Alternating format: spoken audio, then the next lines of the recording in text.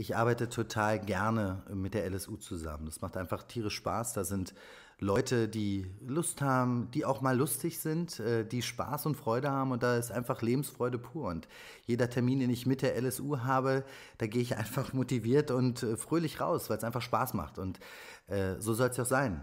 Politik soll auch Spaß machen, kann auch Spaß machen und ich finde es auch ganz wichtig, weil nur wenn du mit Spaß dabei bist, mit Freude, dann bewegst du auch was und bist richtig hinterher. Hast du persönliche Morgenrituale, also so ein Käffchen oder Gymnastik am Morgen vielleicht oder sowas? Na, Gymnastik könnte zumindest komisch aussehen. Äh, das werde ich jetzt auch nicht sagen, sonst sagt ihr noch, ich soll es vormachen. Nein, in der Tat habe ja ich. ja, aber ihr könnt es dann beschreiben und man weiß ja nie.